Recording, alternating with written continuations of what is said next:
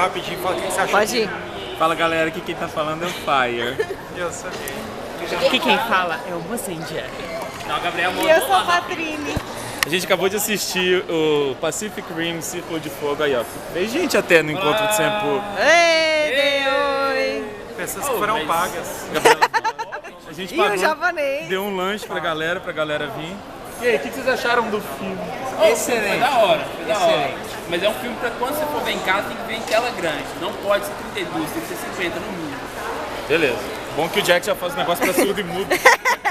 E você, o que você achou, Faia? Foda, tô, tô louco, tô louco com o filme. Então, aguarde esse pro cast. Isso, ó, o Mozende também tá, tá feliz. Olha lá que bonitinho. Dá um close no Mozende. Vou ganhar na sua carro descendo. Close. Oi, eu sou São muito lindo. lindos. Um beijo Ah. pras garotas do Sempo. Eu sou magnífico.